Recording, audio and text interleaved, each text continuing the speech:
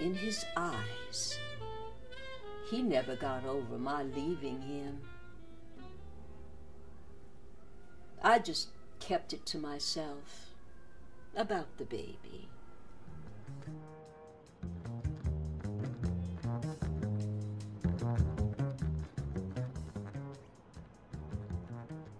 After Charles and I divorced, there were some affairs. But in those days, honey, certain things weren't talked about. Well, not in polite society. In the 1930s and 40s, there weren't just double standards, there were triple standards. All those phony, holier than thou types.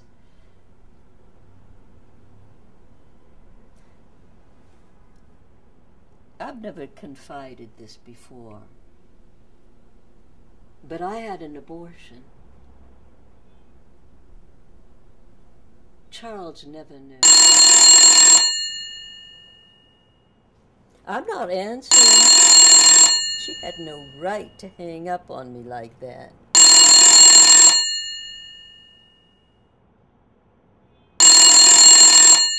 A child wasn't possible. It would have interfered. My career was going well, you see. So many opportunities. But you have to show up, honey. Out of sight, out of it. And I was an it girl. It was a whirlwind. The parties, glamorous parties here in New York, the ones back in New Orleans. Oh, Lord. But David used to beg me to come out to the coast for some audition. We used to model clothes for Chanel, jewelry from Tiffany's, furs. Oh, yes. They would dress you up send you with an escort to some penthouse party. Honey, those escorts never took their eyes off of you, sashaying around with all that expensive jewelry. But I didn't dare take more than a minute powdering my nose.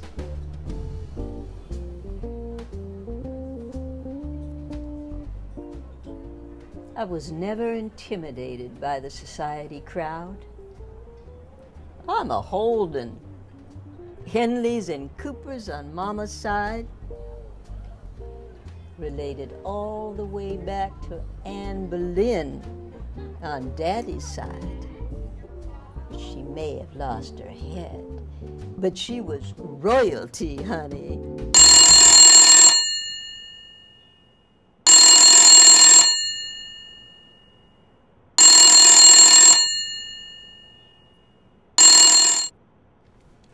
Don't call here again. I'm not speaking to you.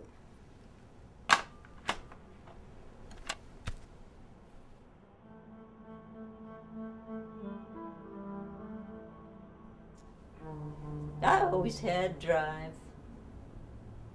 Papa used to say, nothing will ever stop my little Ella. That's what they named me. Ella Angeline. Well, you can see, too country, too southern. I changed it when I started acting here in New York. Phyllis.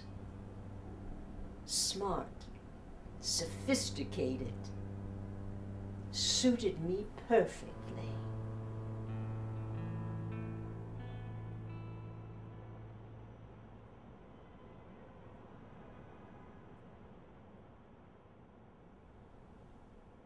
I met her father, I was at a turning point, close to 40. Things change at that age. He was handsome, so tall, that European elegance. Oh, don't misunderstand. I was still beautiful, maybe more so. There's a richness that develops. In certain cases, experience adds to the charm of physical beauty.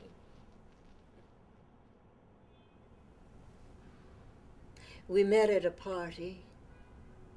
I didn't think much of it. But he courted me with a fierce determination. Dutch stubbornness it was. Later, I realized how damn impossible he can be. But then,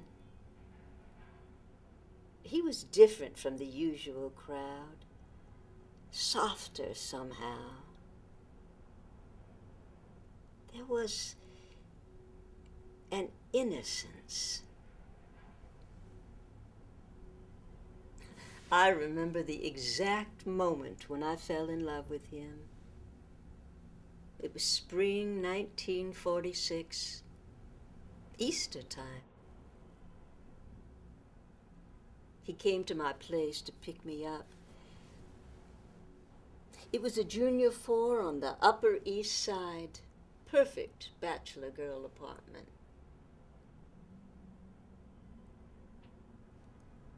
Funny, I remember the hat I was wearing. It was a beautiful little hat, a few flowers across the brim and a very delicate veil that came just so over my eyes. I love that hat. I love hats.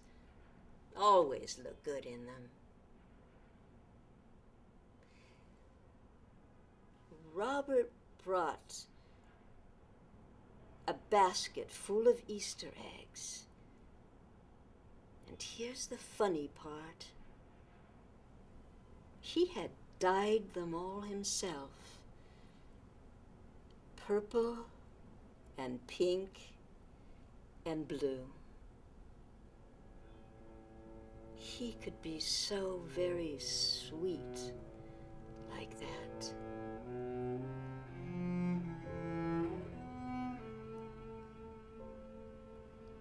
We married later that year, in the fall.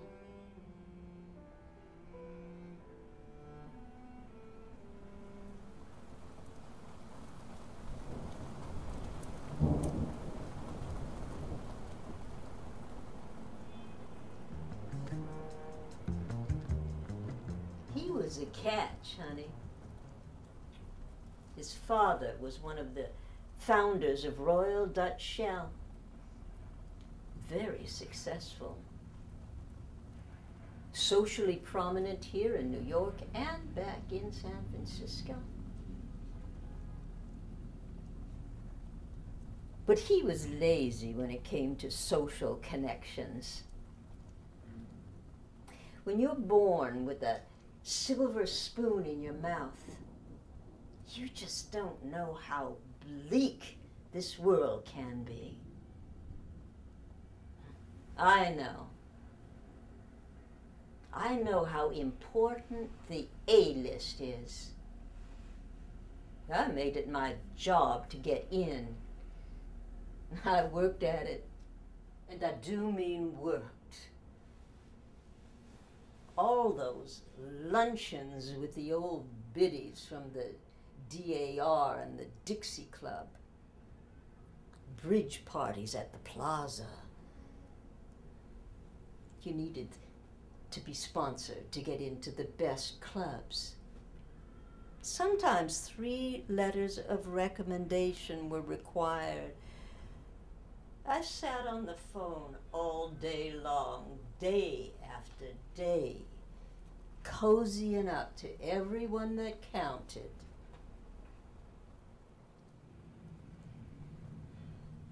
When you've been deprived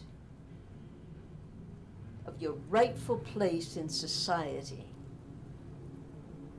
that felt those awful, icy cold snubs where you either lay down dead and get yourself squashed like those horny toads on the road, or you pull yourself together and make them all take notice. And I'm no quitter, honey.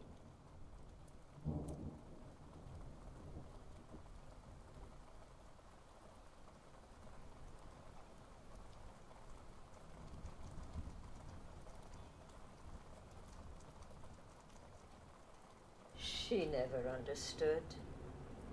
She was born with that silver spoon in her ungrateful mouth, too.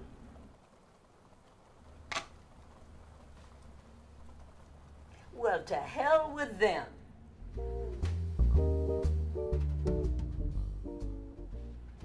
See how far you get in this world without the right connections. Talent and achievement only take you so far, Social standing trumps them all.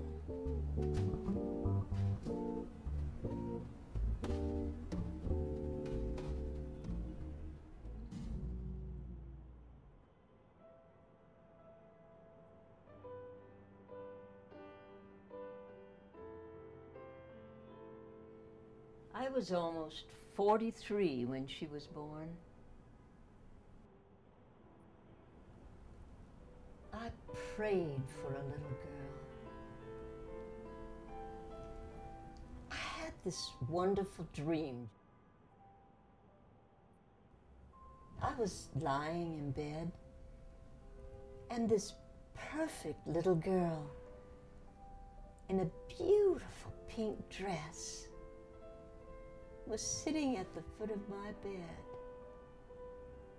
waving at me.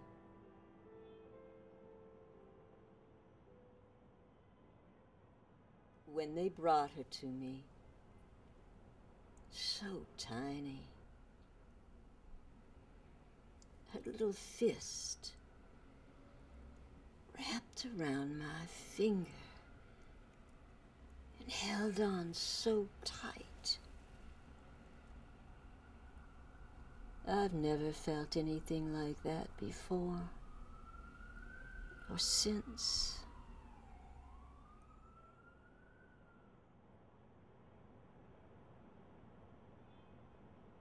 I never spoke that silly baby talk to her.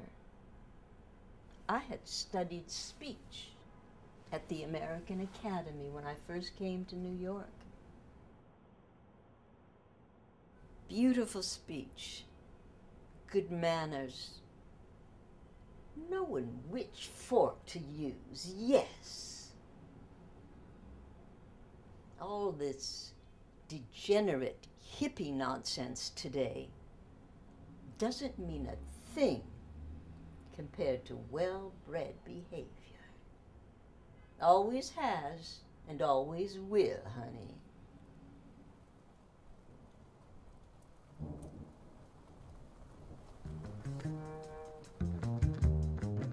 Robert had had a nervous breakdown. It was after his play failed. Oh, it failed miserably. Closed after 10 performances. All those high hopes.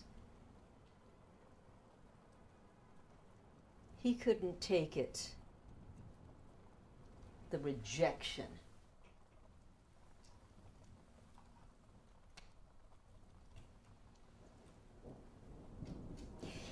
This world is a hard, cold place.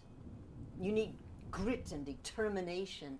Robert is all dreams and delusions, make believe. Like those pretty Easter eggs. But you can't live on painted Easter eggs, honey. Well, not for long, anyway.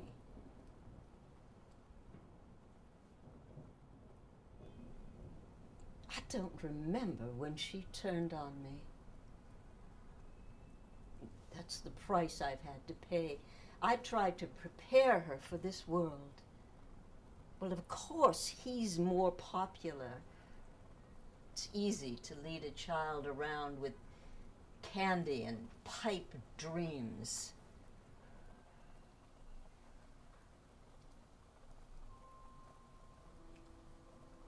Did I tell you about the dream I had just before she was born? Yes. In that pretty pink dress, reaching out her little arms to me. I have no regrets. I know what is right. Unrealistic expectations and magical thinking don't do anyone any good.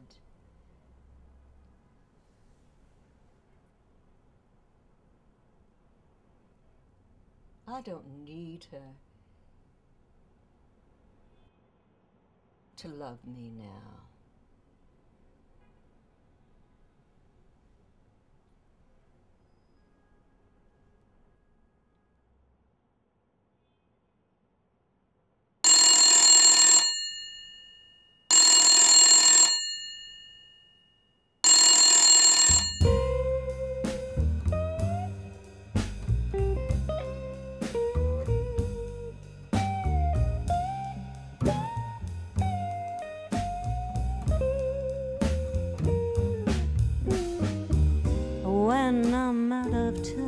My feelings, when I'm fooling myself, I can choose what I am needing. I can dust it off the shelf. I won't side with revision. I'm effectively driven to sweet